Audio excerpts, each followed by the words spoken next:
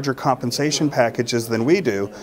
We know that there's a teacher shortage all across the nation, and now we're suggesting that we're going to lower compensation packages, and somehow that's going to keep younger younger teachers wanting to stay in our state.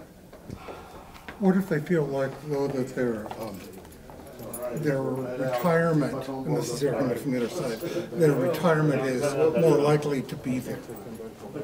Why would they think that? I mean, Right. This is the, you know, every session, it feels like PERS is under attack, and we have this conversation over and over again. Remember, this is, this is, um, we have three tiers in our retirement system right now because of changes and fixes that were made. Uh, Former Governor Ted Kulongoski supposedly fixed this um, in 2003. Um, And so what's changed, right? It has to do with the UAL with current um, retirees at one and two tiers that are causing, driving this problem, not the current system.